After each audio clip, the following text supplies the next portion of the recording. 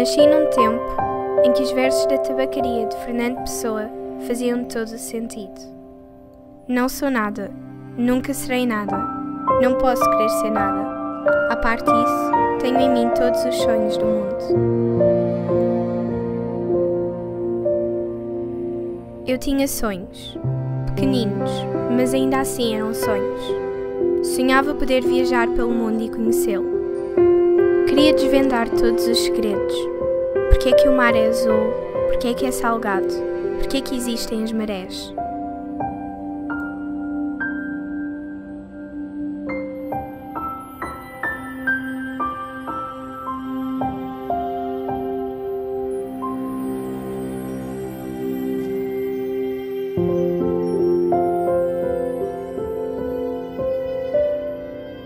Vivi toda a minha vida rodeada de mar, no meio deste oceano imenso que separa a Europa da América. Cresci com o mar e deixei-me fascinar por ele. Usava a imaginação para fazer longas viagens ao sabor das ondas do mar, que me embalavam e me viam crescer.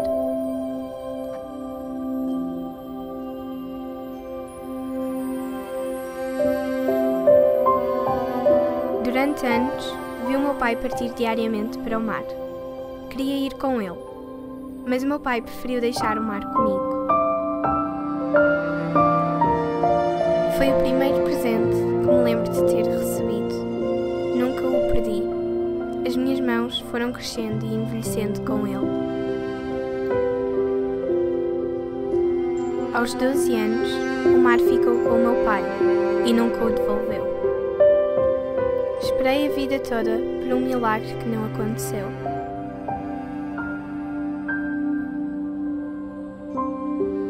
Tive que aprender a viver com essa ausência que tentei colmatar, fazendo do mar o meu aliado, deixando-lhe mensagens que sabia que ele levaria ao meu pai.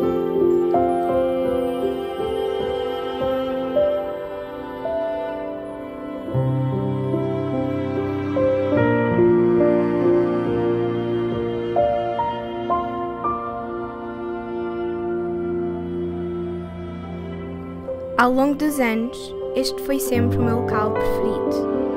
Aqui passei, aqui converso com ele e de vez em quando ainda lhe deixo mensagens.